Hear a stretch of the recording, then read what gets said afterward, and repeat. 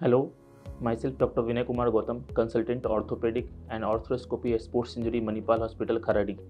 Today I will discuss about the sports injury related to the any knee injury kind of thing. Okay, so normal just will summarize about the knee.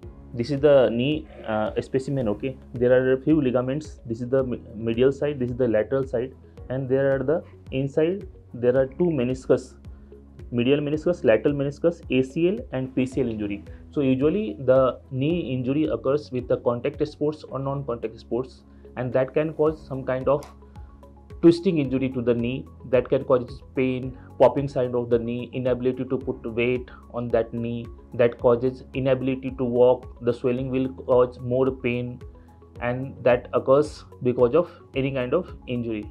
So with any kind of knee sports injury, we usually do first X-ray to find any obvious fracture or not.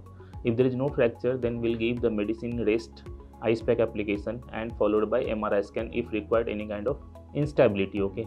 In MRI, there can be a, some kind of ACL tear that's quite common. Okay, and meniscus tear as well.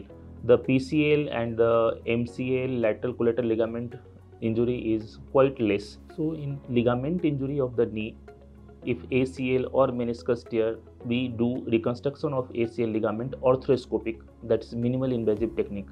And for any kind of meniscus, we always try to preserve the meniscus by repairing the meniscus if that is repairable.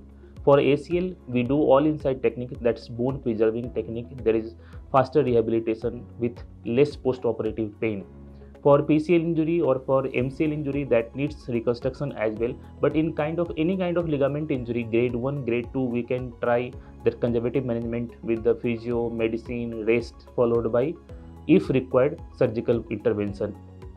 So, usually, just by doing the warm up and proper rehabilitation, proper doing exercise before playing, before sports, you can avoid the sports injury. If it happens, just contact to your sports surgeon. Thank you.